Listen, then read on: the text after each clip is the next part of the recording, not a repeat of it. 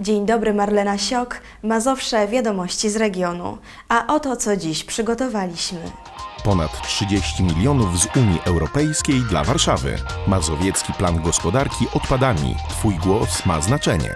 Szpital w Makowie Mazowieckim zyskuje nową jakość. Muzeum Wsi Radomskiej zachwyca.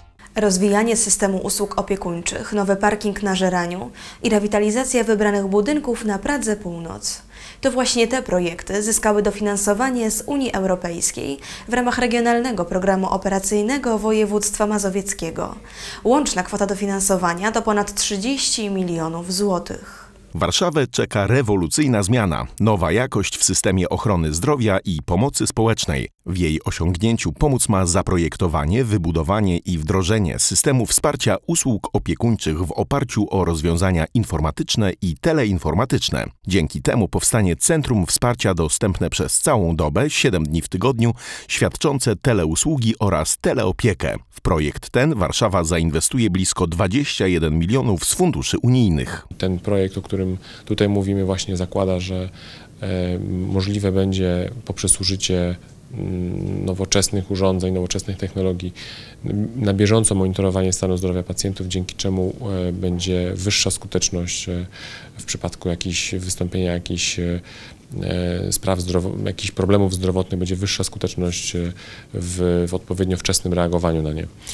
To projekt, który realizuje Warszawa i 10 partnerów, więc duży, duże przedsięwzięcie metropolitalne. Monitoring stanu zdrowia jest jednym z naj, najważniejszych czynników, które wpływa na, na wydłużenie i poprawę jakości zdrowia w ogóle. Co więcej, prawie 6 milionów złotych ze środków unijnych miasto przeznaczy na poprawę warunków życia mieszkańców warszawskiej Pragi. Remont oraz termomodernizację przejdą dwa wielorodzinne domy.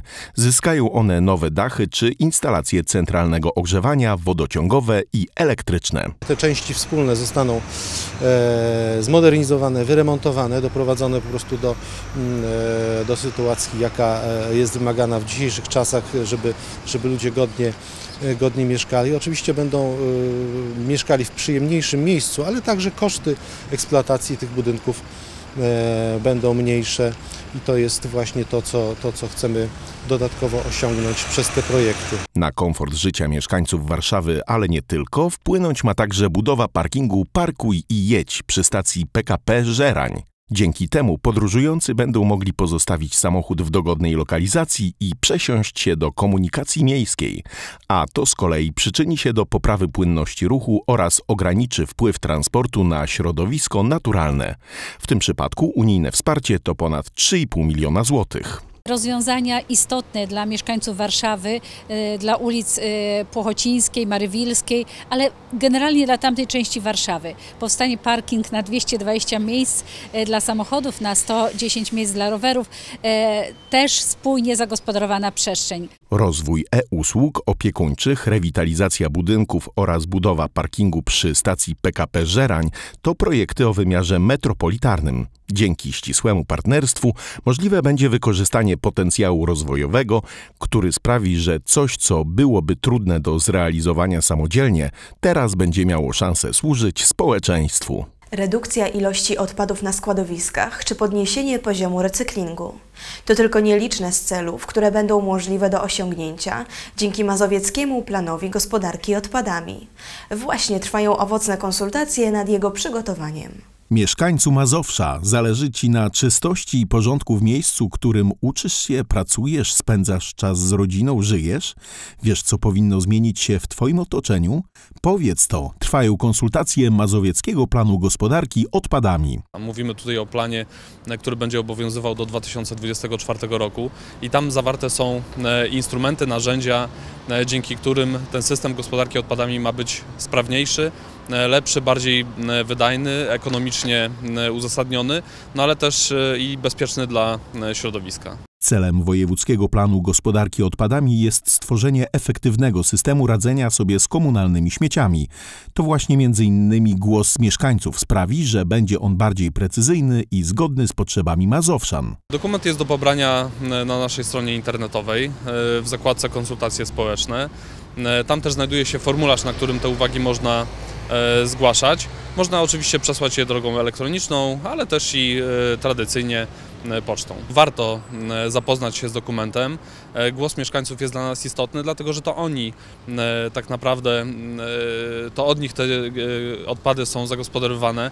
Oni wiedzą, jaka jest specyfika na ich terenie, mają pewne doświadczenie związane z gospodarką odpadami u siebie w gminie. W związku z tym to są ważne uwagi, ważny głos do tworzenia właściwego dokumentu. Plan gospodarki odpadami wypracowany wspólnie ze społeczeństwem, a także gronem specjalistów pozwoli na stworzenie dokumentu, który rozwiąże problem śmieci na lata. Uwagi i wnioski do planu można zgłaszać jeszcze do 29 sierpnia. Dobre wieści dla mieszkańców powiatu makowskiego i okolic. Już niebawem do samodzielnego publicznego zakładu opieki zdrowotnej zespołu zakładów w Makowie Mazowieckim trafi wsparcie unijne na zakup nowoczesnego sprzętu. Decyzją zarządu województwa projekt otrzyma blisko 10 milionów złotych dofinansowania. Będzie sprawniej i szybciej, a na pewno zdrowiej. Mieszkańcy powiatu makowskiego zyskają lepszą opiekę zdrowotną.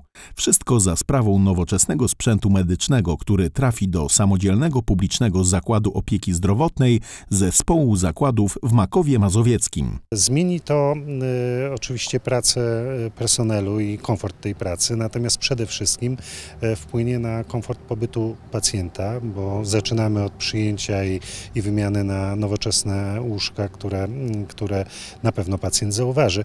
Natomiast e, później w kierunku rozszerzonej diagnostyki i nowoczesnego sprzętu diagnostycznego, który na pewno wpłynie na jakość świadczonych usług. Dzięki pozyskanym środkom możliwa będzie modernizacja stacji dializ, zakup m.in. systemów monitorująco-kardiologicznych, respiratorów, łóżek czy wózków transportowych.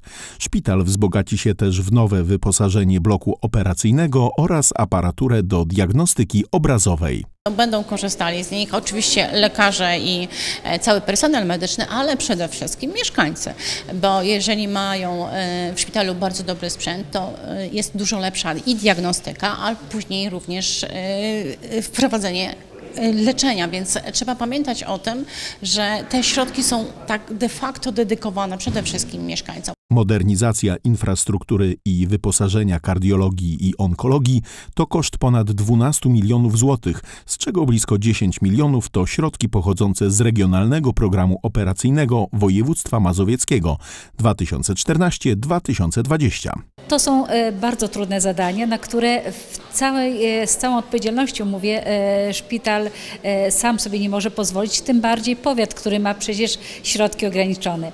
Bardzo się cieszę, że tutaj trafiają środki, bo są bardzo potrzebne dla pacjentów.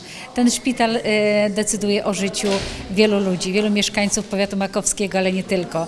Jeżeli będzie wyposażony w dobry sprzęt, jeżeli będzie dobra stacja dializ, to i usługi zarówno kardiologiczne, jak i onkologiczne będą na najwyższym poziomie. Wprawdzie to nie sam sprzęt leczy i zapewnia bezpieczeństwo, jednak ma on ogromne znaczenie w diagnozowaniu i przywracaniu zdrowia.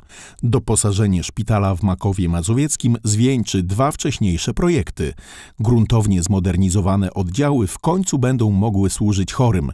Środki pozwolą także na zastąpienie papierowej dokumentacji medycznej cyfrową, przez co monitorowanie pacjentów będzie dokładniejsze. Czy podróż w czasie jest możliwa? W Muzeum Wsi Radomskiej z pewnością, szczególnie jeśli chodzi o dzieje wsi i jej kultury. To historia z sielskością w tle, której warto przyjrzeć się z bliska. Położone na malowniczym terenie na południowo-zachodnich obrzeżach miasta w Dolinie Mlecznej, Muzeum Wsi Radomskiej może pochwalić się 60 obiektami zgromadzonymi na 32 hektarach. Stare chałupy, dwory, kościół, przydrożne kapliczki, wiatraki czy kuźnie. Przydomowe ogródki z kwitnącymi latem malwami, zagroda z domowymi zwierzętami i ule. To wszystko tworzy niezwykły sielankowy klimat, idealny do złapania oddechu od miejskiego zgiełku. Nasze zagrody, nasz dwór y, z pieczysk, jak również inne obiekty mniejsze, które również mają swój urok i naprawdę pozwalają nam przenieść się te 200 lat czy 100 lat do tyłu. I choć świat pędzi coraz szybciej, to w Muzeum Wsi Radomskiej czas jakby się zatrzymał, a troska o zachowanie dziedzictwa kulturowego i historycznego radomskiej wsi sprawia, że kolejne pokolenia mają możliwość powrotu do minionego wieku. Szczególnie warto zajrzeć tu już wkrótce, 2 sierpnia, na jubileuszowe 20 święto chleba, by przekonać się, że praca piekarza bynajmniej nie należy do łatwych. To dla nas niezwykłe wydarzenie, ponieważ w roku 2018 20 Święto Chleba łączy się również z innymi rocznicami, właśnie z rocznicą 20 lat istnienia województwa mazowieckiego, jak również ze stuleciem odzyskania przez Polskę niepodległości. I właśnie w ten szczególny dzień chcemy również podkreślić, jak bardzo zmieniło się muzeum, jak bardzo zmieniło się święto chleba na przestrzeni tych 20 lat. Zapraszam bardzo gorąco. Myślę, że atrakcje, które na ten dzień przygotowaliśmy, przypadną Państwu do gustu. Korowód, wieńcy dożynkowych, chleb, którego nie może zabraknąć na naszych polskich stołach. I to, co zawsze najbardziej cieszy naszych mieszkańców i naszych turystów, pokaz prac polowych na naszych polach uprawnych. I wieczorem spotkamy się na deskach naszego amfiteatru przy wspaniałym koncercie zespołu Tulia. Zapraszam wszystkich bardzo serdecznie od godziny 10 do Muzeum Wsi Radomskiej w dniu 2 września. Muzeum Wsi Radomskiej to jedna z wielu pereł Mazowsza, którą trzeba odkryć, by zachwycić się regionem. Dlatego warto tu zawitać na dłuższą chwilę. To wszystko, co przygotowaliśmy. Zapraszam na kolejny program Mazowsze Wiadomości z regionu.